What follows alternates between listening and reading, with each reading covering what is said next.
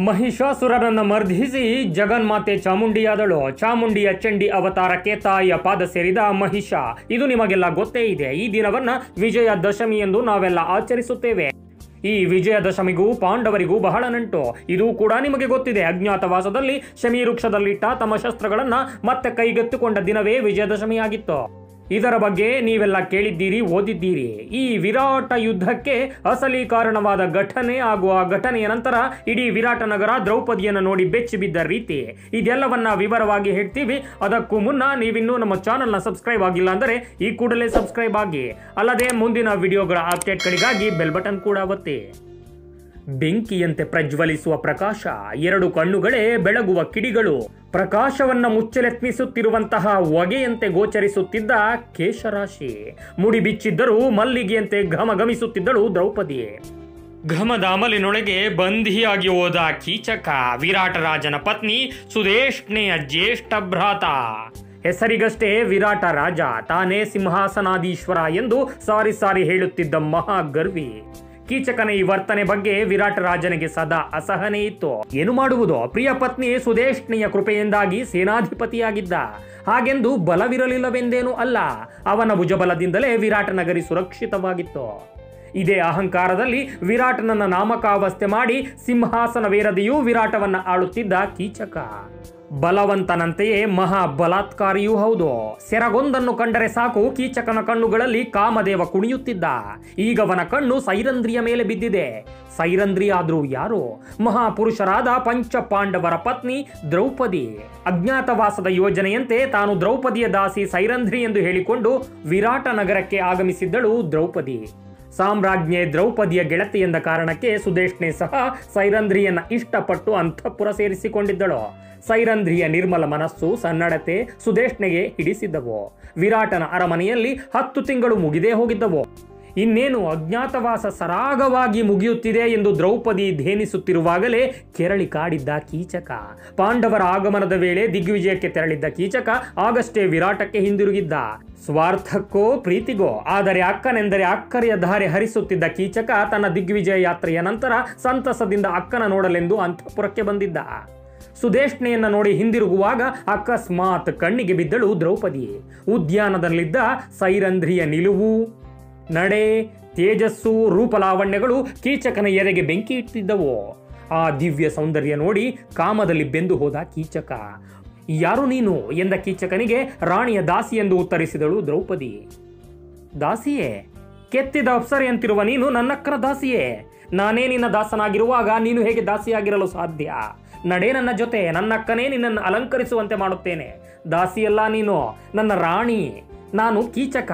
ವಿರಾಟ ಹೆಸರಿಗಷ್ಟೇ ಇಲ್ಲಿನ ರಾಜ. ನಾನೇ ಸಮಸ್ತವೋ. ನಾನೇ ಒಲಿದ ಮೇಲೆ ನಿನಗೇನು ಚಿಂತೆ? ನನ್ನೆಲ್ಲ ಹೆಂಗಸರನ್ನು ಬಿಟ್ಟು ಬಿಡುತ್ತೇನೆ. ನೀನೊಬ್ಬಳೇ ಸಾಕು ನನಗೆ. ಬಾ, ಆಲಂಗಿಸು ಎಂದ ಕೀಚಕ. ಗಾಬರಿಯಾದಳು ದ್ರೌಪದಿ. ರಾಜಪುರುಷನಾದ ನೀನು ಸೇವಕಿಯೊಂದಿಗೆ ಹೀಗೆಲ್ಲ ಮಾತನಾಡುವುದು ಉಚಿತವಲ್ಲ. ನಾನಿದನ್ನ ಒಪ್ಪಲಾರೆ, ನಾನೇನು ಅವಿವಾಹಿತಳಲ್ಲ, ಒಬ್ಬರಲ್ಲ, ಇಬ್ಬರಲ್ಲ, ಐವರು ಗಂಧರ್ವರು ನನ್ನ ಪತಿಯರು. ವಿಷಯ ತಿಳಿದರೆ ನಿನ್ನ ಉಸಿರು ನಿಲ್ಲುವುದು ನಿಶ್ಚಿತ. ಪಾತಾಳದಲ್ಲಿ ಅಡಗಿದ್ದರೂ ನಿನ್ನ ಬಿಡುವುದಿಲ್ಲ ಈ ದುಷ್ಟ ಚಿಂತನೆ ಬಿಡು. ಗಳಿಸಿದ ಕೀರ್ತಿಯನ್ನೆಲ್ಲ ಕಾಮಕ್ಕೆ ಬಲಿ ಕೊಡಬೇಡ. ಹೊರಡು ಎಂದು ತಾನೂ ಹೊರಟಳು. ಪ್ರೇಮ ಜ್ವರಕ್ಕೆ ಮದ್ದು ಹುಡುಕುತ್ತಾ ಅಕ್ಕನ ಬಳಿಯೇ ಹೋದ ಕೀಚಕ. ಅಕ್ಕ, ಯಾರವಳು? ನಿನ್ನ ದಾಸಿ? ಹೂ ಕಟ್ಟುವವಳಂತೆ ನಿನ್ನ ಅಂತಃಪುರದಲ್ಲಿ. ನನಗವಳು ಬೇಕೇ ಬೇಕು ಎಂದ. ಪ್ರಿಯ ತಮ್ಮ, ಬಯಸಿ ಬಯಸಿ ಸಾವನ್ನೇ ಕೇಳುವಂತೆ ಭಾಸವಾಯಿತು ಸುದೇಶ್ನಿಗೆ. ವಿವರಿಸಿ ಹೇಳುವ ಪ್ರಯತ್ನವನ್ನೂ ಮಾಡಿದಳು. ಹನ್ನೊಂದು ತಿಂಗಳ ಹಿಂದೆ ಆಶ್ರಯ ಬೇಡಿ ಬಂದ ಅವಳು ದ್ರೌಪದಿಯ ಗೆಳತಿಯಂತೆ, ಐವರು ಗಂಧರ್ವರು ಅವಳ ಗಂಡಂದಿರಂತೆ. ಯಾರಾದರೂ ಕೆಣಕಿದರೆ ಕೊಲ್ಲುತ್ತಾರೆ ಎಂದು ಬಂದ ದಿನವೇ ಎಚ್ಚರಿಸಿದ್ದಾಳೆ. ಅವಳ ಸಹವಾಸವೇ ಬೇಡ, ಸುಮ್ಮನಿದ್ದು ಬಿಡು ಎಂದಳು ಮಹಾರಾಣಿ ಸುದೇಶ್ನೆ. ಕೀಚಕ ಗಹಗಹಿಸಿನಕ್ಕ, ಐವರು ಗಂಧರ್ವರು ಅವಳ ಗಂಡಂದಿರೆ. ಅದರಿಂದ ನನಗೇನಾಗಬೇಕು? ನಿನ್ನ ತಮ್ಮ ಯೋಧನಲ್ಲವೇ? ನಾನೊಬ್ಬನೇ ಸಾವಿರ ಗಂಧರ್ವರನ್ನ ಕೊಲ್ಲಬಲ್ಲೆ. ನಿನಗೆ ಸ್ತ್ರೀಯರ ಬಗ್ಗೆ ತಿಳಿಯದು. ರೂಪವಂತ ಬಲಶಾಲಿಯಾಗಿದ್ದು ಮಾತು ಬಲ್ಲ ಮಹಾಪುರುಷರನ್ನ ಹೆಂಗಸರು ಪ್ರತಿರೋಧಿಸಲಾರರು. ಹನ್ನೊಂದು ತಿಂಗಳಿಂದ ಗಂಡಂದರಿಂದ ದೂರವಿದ್ದಾಳೆ ಎಂದೆ. ಸುಮ್ಮನೆ ನನ್ನೊಡನೆ ಏಕಾಂತಕ್ಕೆ ಕಳಿಸು ಅಷ್ಟೇ ಉಳಿದದ್ದನ್ನ ನಾನು ನೋಡಿಕೊಳ್ಳುತ್ತೇನೆ ಎಂದ ಕೀಚಕ ಅಲ್ಲಿಂದ ಹೊರಟ. ರಾಣಿ ಸುದೇಶ್ನಿಗೆ ಆತಂಕ ಹೆಚ್ಚುತ್ತಲೇ ಹೋಯಿತು. ಸೈರಂದ್ರಿ ತನ್ನ ಗಂಡಂದಿರ ಬಗ್ಗೆ ಹೇಳಿದ್ದು ಬರೀ ಬೆದರಿಕೆಯಷ್ಟೇ ಅಲ್ಲ, ನಿಜವಿದ್ದರೂ ಇರಬಹುದು. ಇವನೇಕೆ ಸಾವಿನ ಜೊತೆ ಸರಸವಾಡಬೇಕು ಎನ್ನುತ್ತಿದ್ದಾನೆ. ಹೀಗೆಂದು ಚಿಂತಿಸಿ ಇತ್ತ ತಮ್ಮನ ರೋಧನೆಯನ್ನೂ ನೋಡಲಾರದೆ ಸೈರಂದ್ರಿಯನ್ನ ಬರ ಹೇಳಿದಳು ತನ್ನ ತಮ್ಮನಿಗೆ ಒಂದಷ್ಟು ಮದ್ಯ ವಿಶೇಷಗಳನ್ನು ಕೊಡಲು ಹೇಳಿ ಕಳುಹಿಸಿದಳು. ಹನ್ನೊಂದು ತಿಂಗಳು ಸೈರಂದ್ರಿಯ ಎಲ್ಲಾ ಷರತ್ತುಗಳನ್ನೂ ನೆರವೇರಿಸಿದ್ದಳು ರಾಣಿ ಸುದೇಶ್ನೆ ತಿಂದು ಬಿಟ್ಟ ಎಂಜಲನ್ನ ತಿನ್ನುವುದಿಲ್ಲ, ಯಾರ ಕಾಲನ್ನೂ ಒತ್ತುವುದಿಲ್ಲ. ಹೀಗೆ ತನ್ನ ಸಾಮ್ರಾಜ್ಞೆಯ ಘನತೆಗೆ ಯಾವುದೇ ಚ್ಯುತಿ ಬಾರದಂತೆ ಪೂರ್ವ ನಿರ್ಧಾರಿತ ಷರತ್ತುಗಳೊಂದಿಗೆ ಸುದೇಶ್ನಿಯ ಅಂತಃಪುರ ಪ್ರವೇಶಿಸಿದ್ದಳು ದ್ರೌಪದಿ. ಅದರಂತೆ ಹೂ ಕಟ್ಟುವುದು, ಅಲಂಕಾರ ಮಾಡುವುದು, ಇನ್ನಿತರ ಯೋಗ್ಯ ಕೆಲಸಗಳನ್ನೇ ಮಾಡಿಕೊಂಡು ಬಂದಿದ್ದಳು. ಈಗ ಮೊದಲ ಬಾರಿಗೆ ಮದ್ಯ ಕೊಡುವ ಕೆಲಸ, ಅದು ಕೂಡ ಕೀಚಕನಿಗೆ. ದ್ರೌಪದಿಗೆ ಕಿರಿಕಿರಿಯಾಯಿತು. ಹೋಗಲಾರೆ ಎಂದ ಸೈರಂಧ್ರಿಗೆ ಆದೇಶವಿತ್ತಳು ರಾಣಿ. ಹೋಗದೆ ವಿಧಿಯಿಲ್ಲ ದ್ರೌಪದಿಗಾಗಿಯೇ ಕಾದಿದ್ದ ಕೀಚಕ ಅವಳ ಕೈ ಹಿಡಿಯಲು ನುಗ್ಗಿದ. ರಾಣಿ ಕೊಟ್ಟಿದ್ದ ಬಂಗಾರದ ಪಾತ್ರೆಯನ್ನ ಅಲ್ಲೇ ಬಿಸಾಕಿ ಚೀರುತ್ತಾ ವಿರಾಟರಾಜನ ಆಸ್ಥಾನಕ್ಕೆ ಓಡಿದಳು ಸೈರಂಧ್ರಿ. ರಾಜನ ಸಖನಾಗಿದ್ದ ತನ್ನ ಸಾಮ್ರಾಟ ಯುಧಿಷ್ಠಿರನ ರಕ್ಷಣೆಯ ಭರವಸೆ ಇತ್ತು ದ್ರೌಪದಿಗೆ. ನಿಮ್ಮ ಆಡಳಿತದಲ್ಲಿ ಹೆಣ್ಣು ಇಷ್ಟೊಂದು ಅಸುರಕ್ಷಿತಳೆ. ಹೀಗೆಂದ ಸೈರಂಧ್ರಿಗೆ ಕಣ್ಣಿಗೆ ಕಾಣದೆ ನನ್ನ ಅರಿವಿಗೆ ಬರದರ ಕುರಿತು ನಾನು ಹೇಗೆ ತಾನೇ ನ್ಯಾಯ ನೀಡಲಿ? ಕೀಚಕನೇ ಅಪರಾಧಿ ಎಂದು ಹೇಗೆ ತಾನೇ ನಿರ್ಧರಿಸಲಿ ಎಂದ ವಿರಾಟ ರಾಜ. ಯುಧಿಷ್ಠಿರನಿಗೆ ಕೋಪ ಬಂದರೂ ಇನ್ನೂ ಹದಿನೈದು ದಿನಗಳು ಬಾಕಿ ಇವೆ. ಅಜ್ಞಾತವಾಸದ ನಿಯಮ ನೆನಪಾಯಿತು. ಘಟನೆಯಿಂದ ನಿನ್ನ ಗಂಡಂದಿರಿಗೂ ಕೋಪ ಬಂದಿದೆ.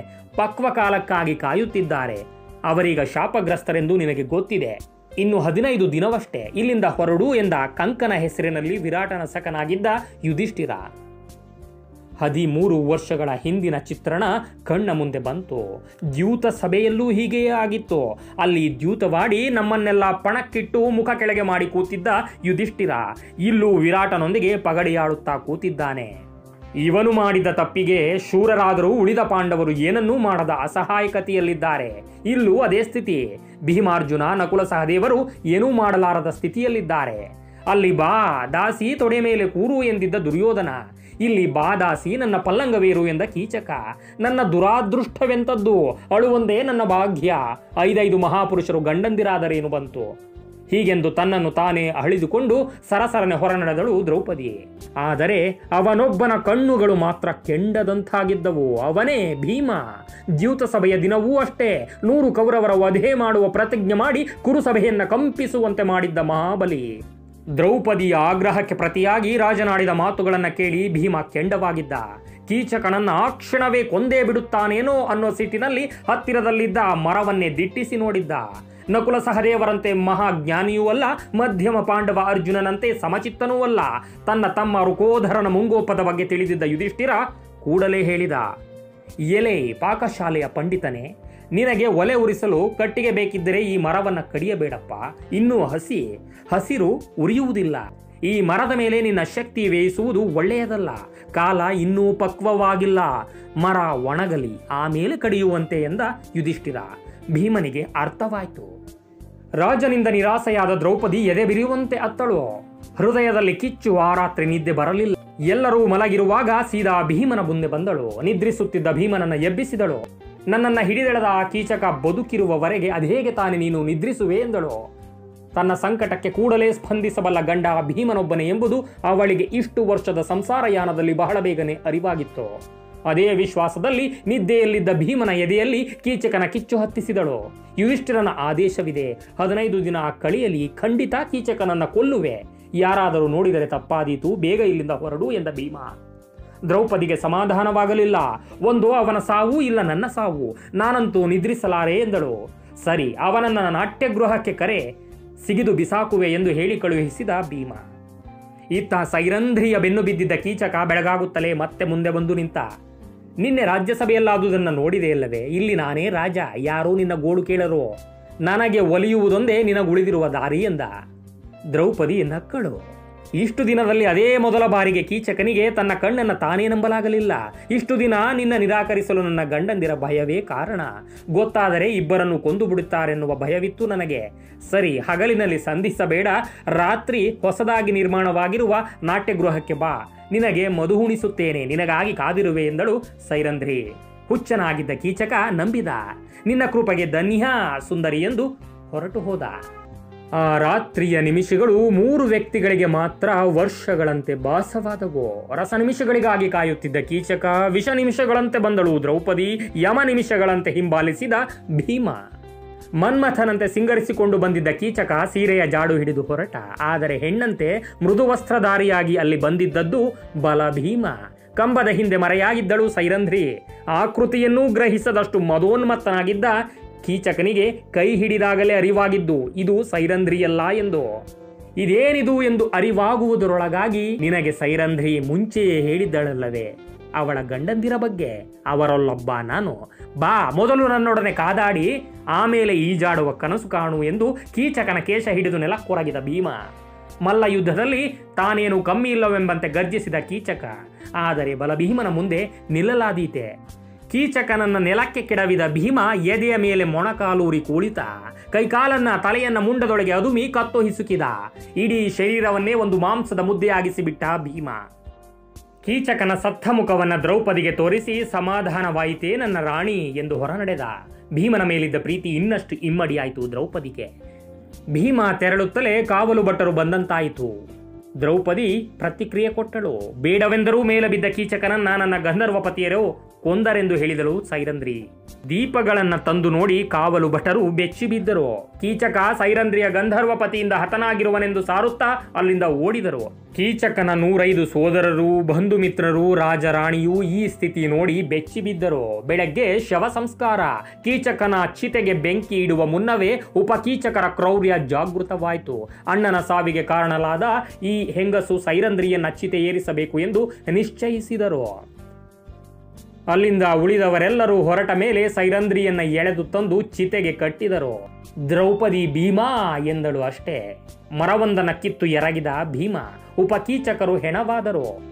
ಉಪಕೀಚಕರು ಸೈರಂಧ್ರಿಯ ಗಂಧರ್ವಪತಿಗಳಿಂದ ಹತರಾದರೆಂಬ ವಿಚಾರ ನಗರಕ್ಕೆಲ್ಲ ತಿಳಿಯಿತು. ಈ ಭೀಭತ್ ಮಾರಣ ಹೋಮದಿಂದ ವಿರಾಟ ನಗರ ನಡುಗಿತು. ಸೈರಂಧ್ರಿ ನೋಡಿದ ಪತಿಯೊಬ್ಬನಿಗೂ ರುದ್ರ ಕಾಳಿಯ ದರ್ಶನವಾಯಿತು. ಇನ್ನೇನು ವಿಜಯದಶಮಿ ಸಮೀಪಿಸುತ್ತಿದೆ. ನನ್ನ ಸಿಂಹಾಸನಕ್ಕೆ ಕಂಟಕನಾಗಿ, ಸ್ತ್ರೀಯರಿಗೆ ಪೀಡಕನಾಗಿ ಮಹಿಷನಂತ ಬೆಳೆದುಕೊಂಡಿದ್ದ ಕೀಚಕ ವಧೆಯಾದನೆಂದು ವಿರಾಟ ರಾಜನು ನಿಟ್ಟುಸಿರು ಬಿಟ್ಟ ಅತ್ತ ಕೀಚಕನ ವಧೆಯ ವಿಚಾರ ತಲುಪುತ್ತಿದ್ದಂತೆ ಹಸ್ತಿನಾಪುರದ ರಾಜ್ಯಸಭೆಯಲ್ಲಿ ಬಗೆ ಬಗೆಯ ಚರ್ಚೆ ಶುರುವಾಯಿತು. ಎದ್ದು ನಿಂತ ದುರ್ಯೋಧನ, ಮುಂದೇನಾಯ್ತು? ಮುಂದಿನ ಸಂಚಿಕೆಯಲ್ಲಿ ಹೇಳ್ತೀವಿ ಅದಕ್ಕೂ ಮುನ್ನ ನೀವಿನ್ನೂ ನಮ್ಮ ಚಾನಲ್ನ ಸಬ್ಸ್ಕ್ರೈಬ್ ಆಗಿಲ್ಲ ಅಂದರೆ ಈ ಕೂಡಲೇ ಸಬ್ಸ್ಕ್ರೈಬ್ ಆಗಿ. ಅಲ್ಲದೆ ಮುಂದಿನ ವಿಡಿಯೋಗಳ ಅಪ್ಡೇಟ್ಗಳಿಗಾಗಿ ಬೆಲ್ ಬಟನ್ ಕೂಡ ಒತ್ತಿ. Thank you.